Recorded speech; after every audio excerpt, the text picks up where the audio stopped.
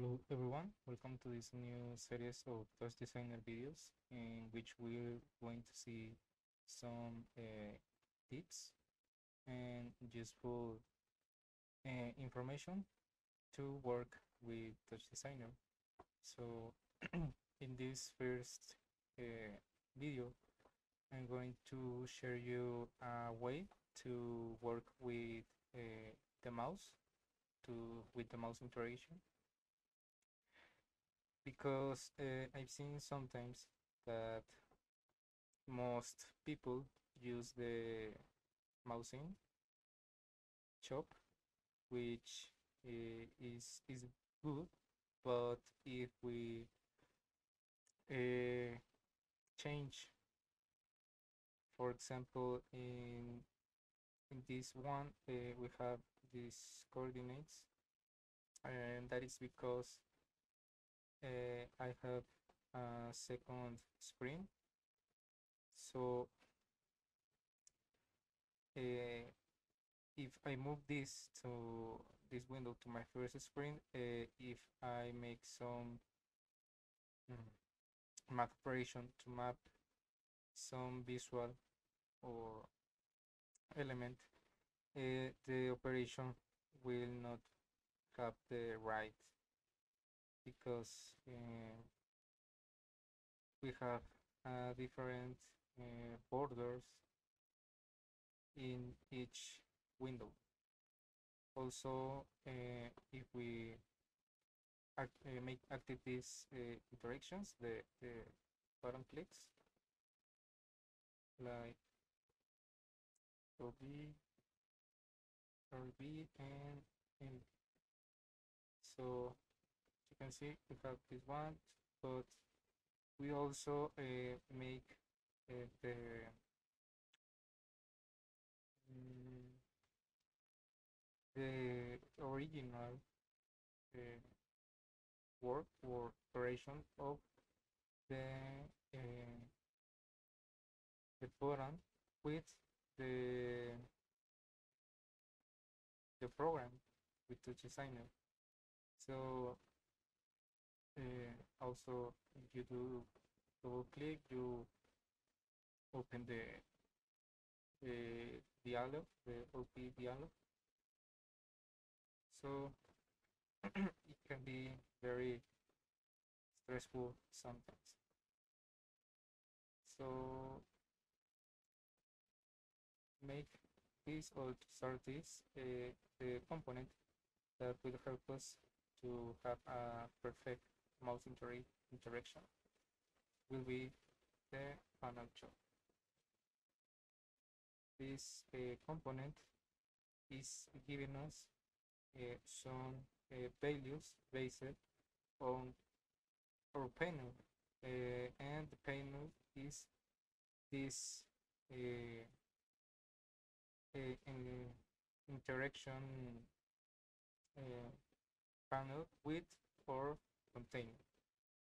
So for container, have this panel and we can interact directly with the, this size of the container. So to do that, we need to split our screen and here we select thing.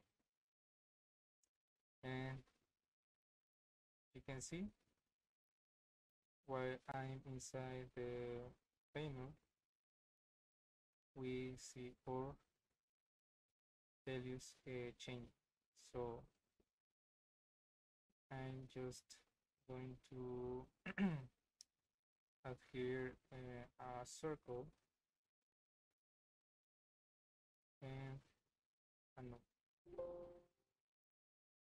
Let's rename it to PG the circle to have the same parent panel size.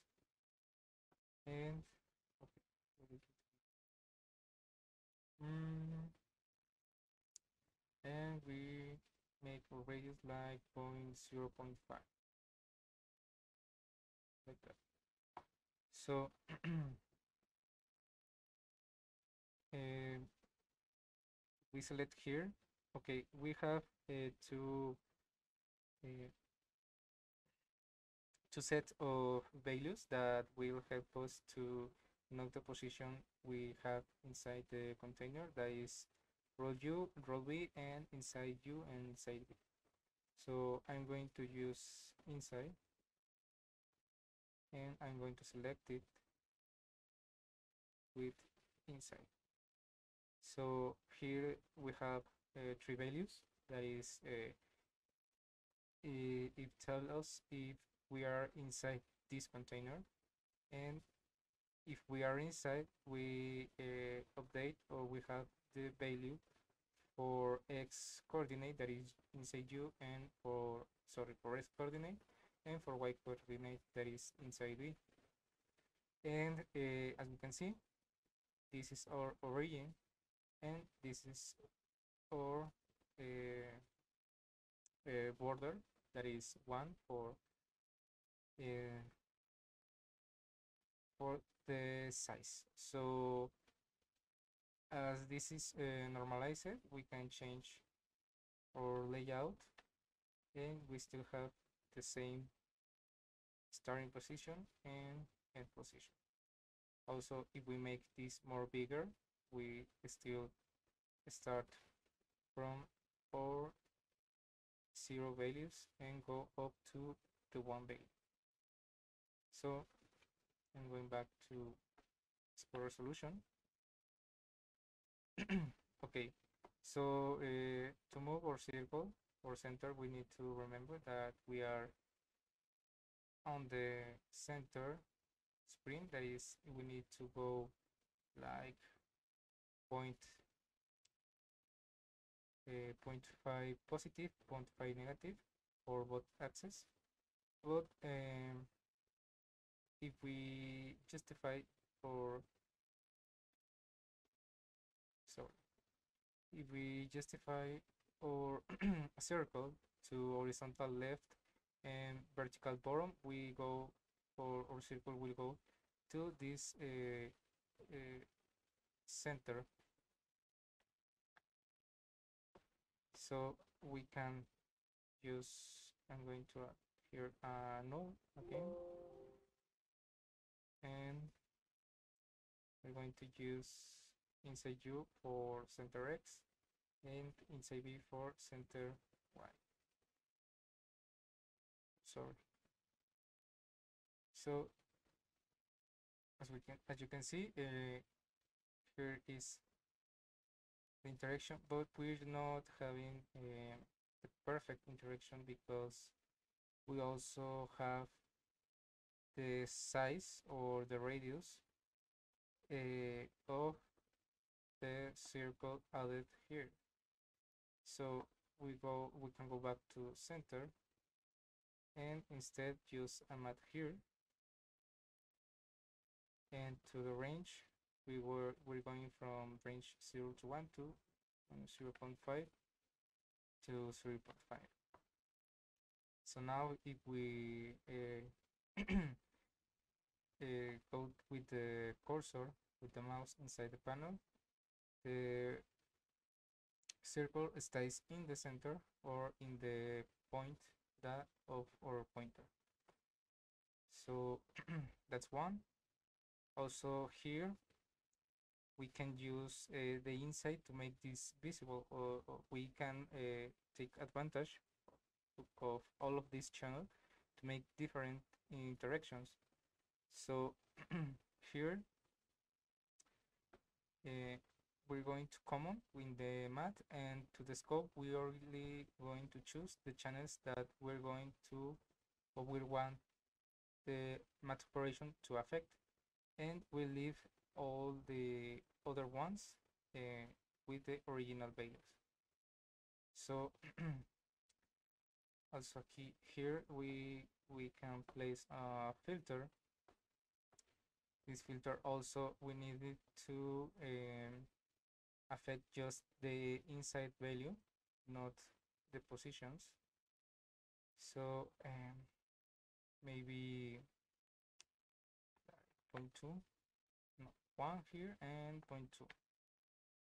Okay and finally export that inside uh, value to our field alpha. So we're going to only see our circle while we're inside the panel. And if we are if we are outside it will disappear in time. So maybe without the filter and see it where. Okay. Uh, and you can choose uh, any of here you want. You have also the select buttons. Also UV uh, I think that is like a drag and drop because it only uh, updates the values when you have clicked in the panel. Once you uh, left uh, or unclick the value stays where uh, the unclick was done. So uh, to visualize this maybe we can add here a rectangle and this uh, rectangle the size like 125 okay and we in output we choose come with input and over. So we're going to copy and paste these ones. And here we choose u and v and the coordinates are the, the same. We start at 0 and end at 1 so we don't need to uh, move the, the map. We delete the filter and we uh, export these values to center X, U, and v to uh, UV, sorry, to uh, center Y. So now, oh sorry, uh, what's happening? Yes, uh, uh, here in the math, uh, we need to change the scope because it uh, retained the last channels and we have U and v. So doing that, now we have the interaction we want. And maybe here,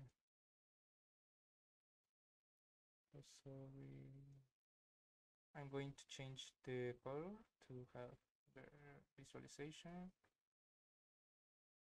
Okay, yes. So our rectangle is over our circle. So uh, maybe uh, here also we can select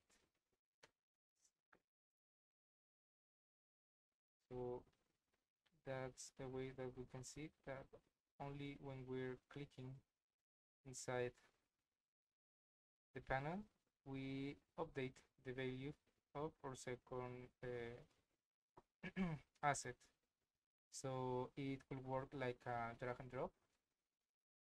And that's that, that that's it. Also uh, we have here uh, the number of clicks. So you can uh, switch between maybe some some kind of, of shapes. So maybe we have I don't know I'm going to copy and paste again this. I'm going to delete the math we're going to select click channel. So here it counts uh, all the clicks you do continuously. And if you stop like some time between the clicks uh, it resets to one. Okay so uh, here I can limit this or maybe loop and we're going to from 0 to 4 so it always loops. So what we can do here is maybe copy and paste circle to have five ones five circles. Uh, we select all of them and activate polygon. And circle to three sides four sides five sides and six sides. Then we add here a switch. We select uh, the other ones that are that are not connected and plug it into the switch.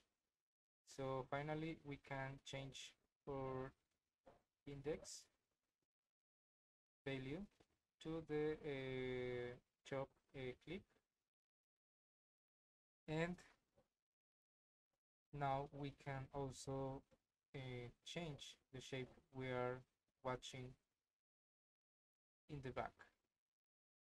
So maybe you can change here some movie files.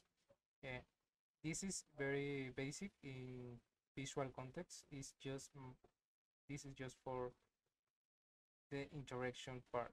So I hope this tutorial gives you some ideas that how you can use the panel chop and also I hope this uh, helps you to have a better mouse interaction in your future sketches or projects. And I think this is a good practice. Also if you want uh, any tutorial like this uh, for explaining another different jobs uh, leave it on the comments. Let me know in the comments. And if you like this this tutorial this tip also you can subscribe to my channel or support me on patreon.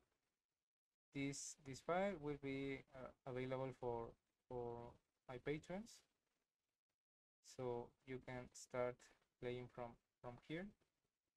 And that's all. Uh, have a good a good day and see you on the next tutorial